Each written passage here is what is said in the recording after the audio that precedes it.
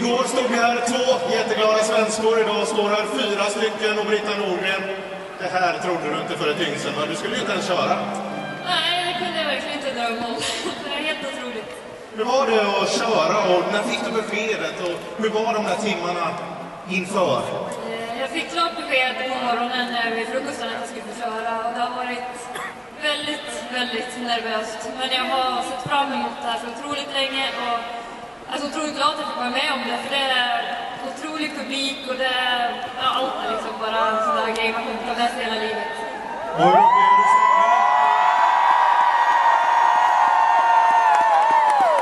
Ja, det är- Vi kan ju egentligen räkna ut hur du upplever det, men om du sätter egna ord på hur det är att stå här just nu.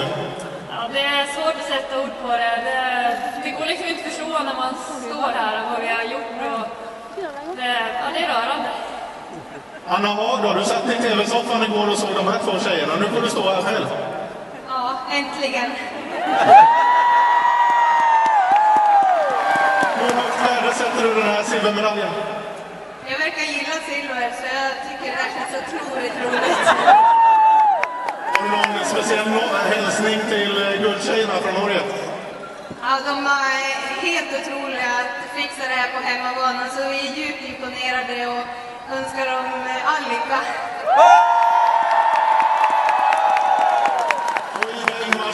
Du börjar väl bli trött på att stå här? Det är andra dagen i rad nu. Nej, jag trivs ganska bra här faktiskt. Jag förstår det.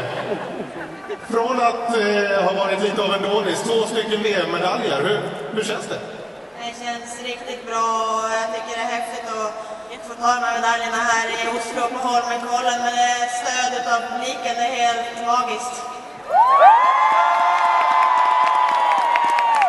Här har vi en tjej som alltid är underbar att intervjua när det har gått bra.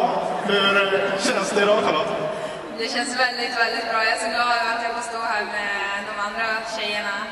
Och ja, vilken eh, mottagning jag har fått.